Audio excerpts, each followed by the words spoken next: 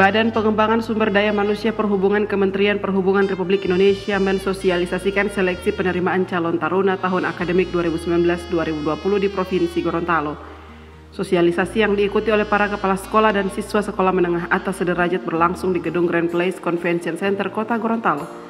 Kepala BPSDMP Kemenhub Republik Indonesia yang diwakili oleh Direktur Politeknik Ilmu Pelayaran Makassar, Rahmat Cahyanto dalam sambutannya mengatakan bahwa sosialisasi si pencatar bertujuan memberikan informasi kepada para pelajar di Provinsi Gorontalo tentang penerimaan taruna baru tahun akademik di kampus-kampus milik BPSDMP Kemenhub. Rahmat menjelaskan perekrutan si pencatar akan dilakukan secara serentak oleh BPSDMP dengan menawarkan pola pembibitan jalur reguler dan mandiri.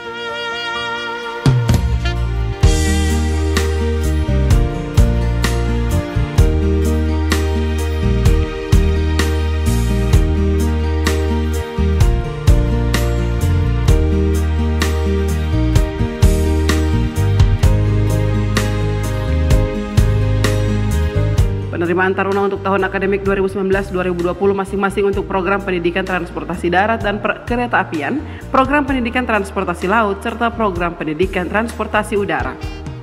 Sementara itu, Wakil Gubernur Gorontalo Haji Idris Rahim berharap melalui sosialisasi tersebut sejalan dengan upaya Pemprov Gorontalo dalam meningkatkan sumber daya manusia di sektor perhubungan. Untuk diketahui bahwa penerimaan calon taruna adalah merupakan upaya keras dari pemerintah Provinsi Gorontalo.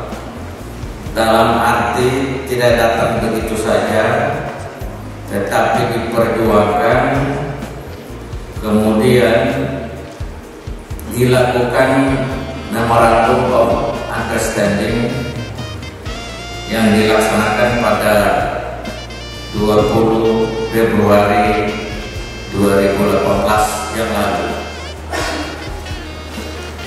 sebab itu saya mohon kiranya kepada para siswa dapat mempersiapkan diri dan memanfaatkan pendidikan ini dengan sebaik-baiknya.